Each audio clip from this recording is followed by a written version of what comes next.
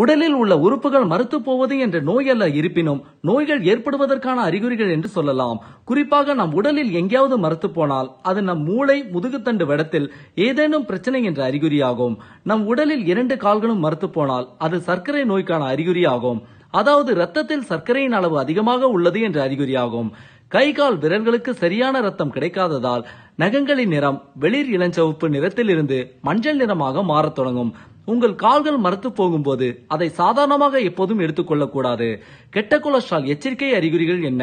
கொலஸ்ட்ராலின் பெயரை கேட்டாலே அது கெட்டது என்று பலர் நினைப்பதுண்டு. ஆனால் கொலஸ்ட்ரால் நல்ல கொலஸ்ட்ரால் மற்றும் கெட்ட கொலஸ்ட்ரால் என இரண்டு வகைகள் நம் உடலில் உள்ளது. உடலின் ஆரோக்கியமான செல்களை உருவாக்க ரத்தத்தில் நல்ல கொலஸ்ட்ரால் அதிக அளவில் தேவைப்படுகிறது. ஆனால் கெட்ட கொழுப்பின் அளவு அதாவது எல்டிஎல் அதிகரிக்கும் போது கொழுப்பு நாளங்களில் ரத்த ஓட்டத்தை தடுக்கிறது.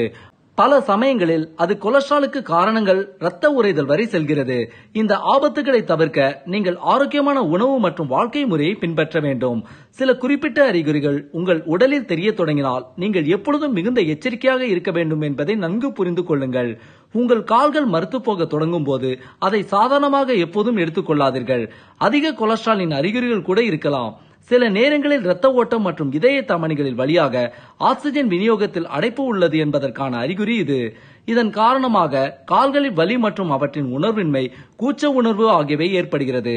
உடலில் கெட்ட கொலஸ்ட்ரால் அதிகரிப்பது உயர் ரத்த அழுத்தத்துடன் நேரடியாக தொடர்புடையது. ரத்தத்தின் கொழுப்பு எவ்வளவு அதிகமாக உள்ளதோ அந்த அளவுக்கு ரத்த அழுத்தமும் அதிகரிக்கும். ஏனென்றால் கொலஸ்ட்ரால் காரணமாக ரத்த ஓட்டத்தில் தடை ஏற்படும் போது இதயத்தில் ரத்தத்தை பம்ப் செய்ய தமனிகளின் கடினமான வேலை செய்ய வேண்டிய சூழ்நிலை ஏற்படும். ஆகையால் உயர் ரத்த அழுத்தம் கொலஸ்ட்ரால் மிக முக்கிய அறிகுறியாகும். உடலில் கெட்ட கொழுப்பின் அளவு அதிகரிக்கும் போது உங்கள் தமனிகளில் கொழுப்பு சேரத் தொடங்குகிறது. இதுதான் நரம்புகளில் இரத்த ஓட்டத்தை தடுக்கிறது. கெட்ட கொழுப்பில் இருந்து தப்பிக்க சில எளிய வழிமுறைகள் என்ன? கொழுப்பு நிறைந்த இறைச்சிகள் முடிந்தவரை தவிர்த்து விடுங்கள். நார்ச்சத்து நிறைந்த உணவுகளை எப்பொழுதும் எடுத்துக்கொள்ளுங்கள் அதிக காய்கறிகள் மற்றும் பழங்களை உணவில் சேர்க்க வேண்டும். இனிப்பான செயற்கையான சர்க்கரை கலந்த தின்பண்டங்களை முற்றிலும் தவிர்ப்பது நல்லது. நார்ச்சத்து நிறைந்த உணவுகளை எப்பொழுதும் எடுத்துக்கொள்ளுங்கள். அதிக காய்கறிகள் மற்றும் பழங்களை உணவில் சேர்க்க வேண்டும். இனிப்பான செயற்கையான சர்க்கரை கலந்த தின்பண்டங்களை முற்றிலும் தவிர்ப்பது நல்லது. நன்றி.